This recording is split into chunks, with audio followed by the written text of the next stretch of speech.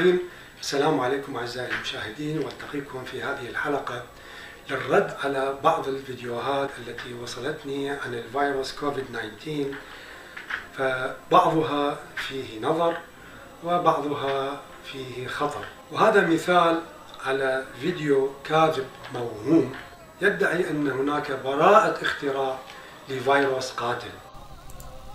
Euh, dernièrement, quand je dis dernièrement, euh, on est remonté jusqu'en 2003, juste pour vous donner les chiffres.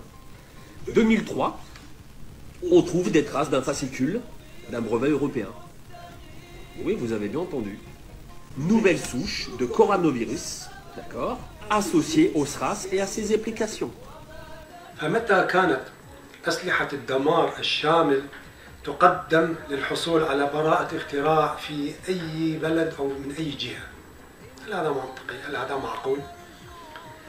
وهناك فيديو آخر يدعي أن الفيروس كوفيد 19 هو ليس فيروسا وإنما غاز سام وجاء بقصة حقيقية عن جنود أصيبوا آه، نتيجة الخطأ بهذا الغاز وبنى عليها قصة وأوهام وجعلها هي السبب في ما أصيب به الصين في مدينة ووهان. وادعى أن هذا هو غاز وليس فيروس. وكأن العدوى سوف تنتهي في هذا التاريخ بالضبط. إذا ماذا سيحدث في شهر أبريل؟ هذا يعود بنا لنظرية المؤامرة وخدعة ووهم فيروس كورونا.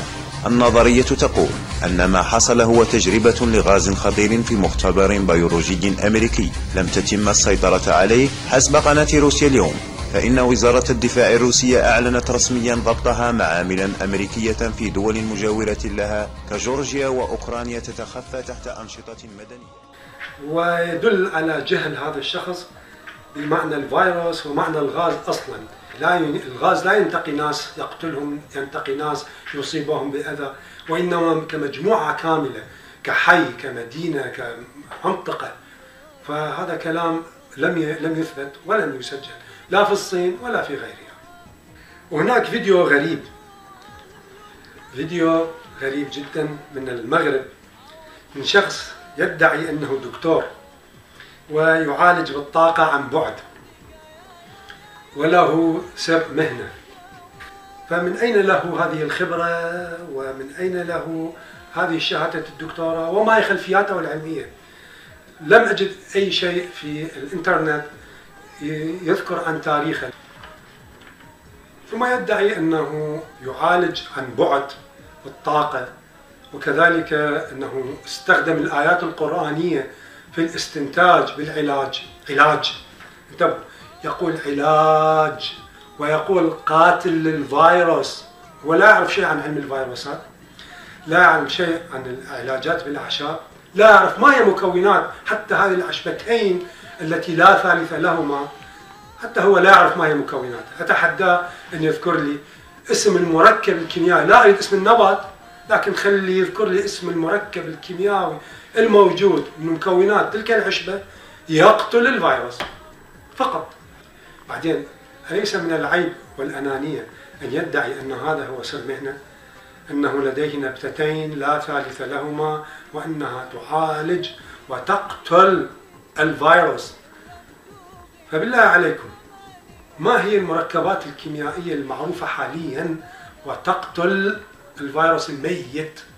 هو لا يعرف علم الفيروسات لا يعرف البيولوجي لا يعرف الكيمياء.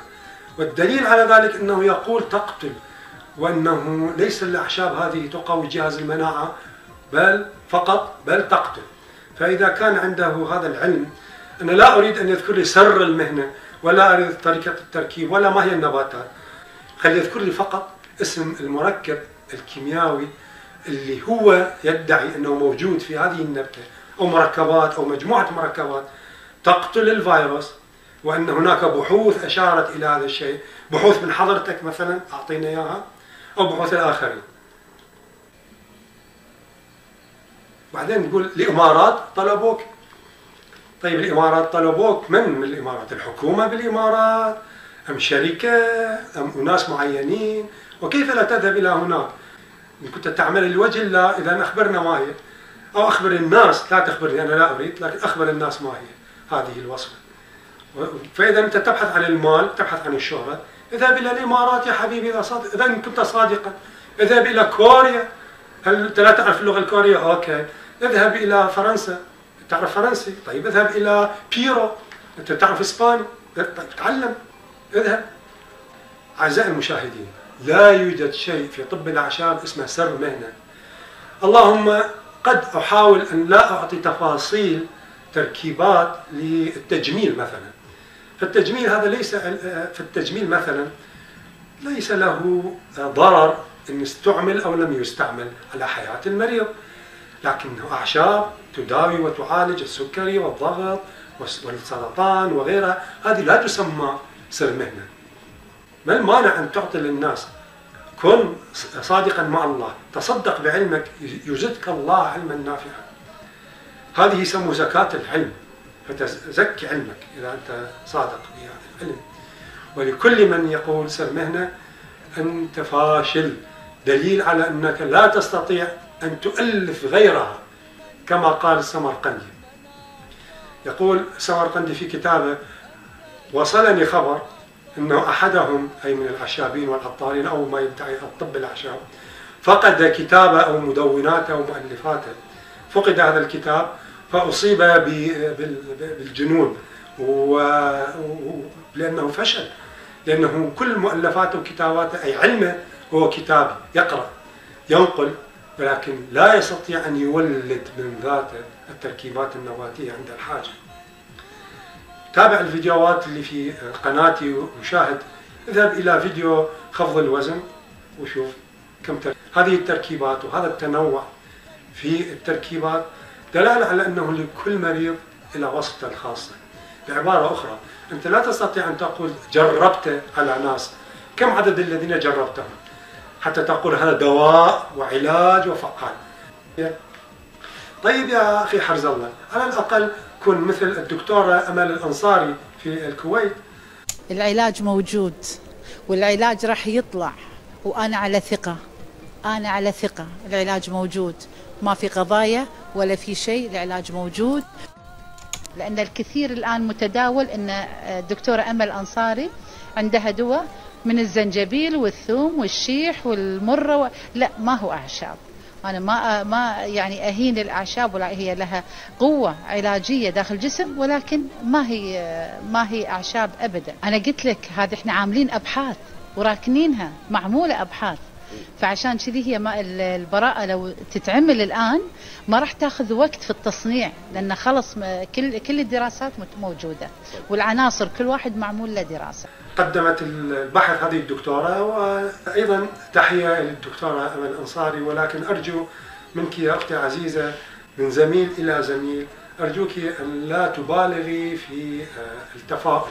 نعم تفاؤل تفاؤل بالخير تجدوه. نعم ولكن المبالغة أيضا أمل. أنت أمل وإن شاء الله يكون في أمل في بحثك.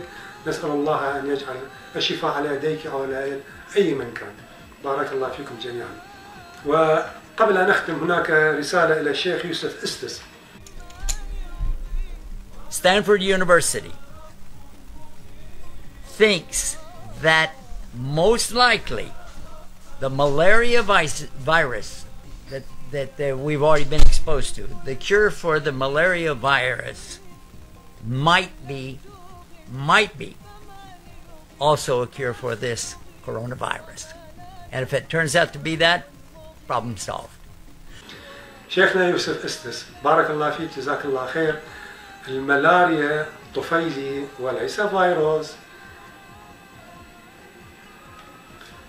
ونعدكم إن شاء الله في الحلقة القادمة سنتكلم عن الفيديو أن هناك الموجات الراديوية هي السبب في ظهور هذه الفيروسات منذ عام 1918 مع إنفلونزا الإسبانية. على أساس أنه ال 5G هي السبب. وربطها أنه حاليا ما يسمى الجيل الخامس من التليفونات الخلوية التي تبث هذه الموجات عبر الأثير وكذلك سنجيب إن شاء الله عن هذا الفيديو بأسلوب بيولوجي فلسفي علمي وكذلك نجيب عن الدواء المسمى الكينون أو الهيدروكينون اللي آه، أيضا أشيع عنه أنه له قوة علاجية. وسنشرح ما هي العلاج وما هو ال vaccin اللي هو اللقاح وما هو المضاد للفيروس والفروقات الثلاثة بينها بين هذه المصطلحات الثلاثة. انتظرونا إن شاء الله نلتقيكم في الحلقة القادمة. أنتم ونحن بخير وصحة وعافية. وأترككم برعاية الرحمن. أستودعكم الله. والسلام عليكم.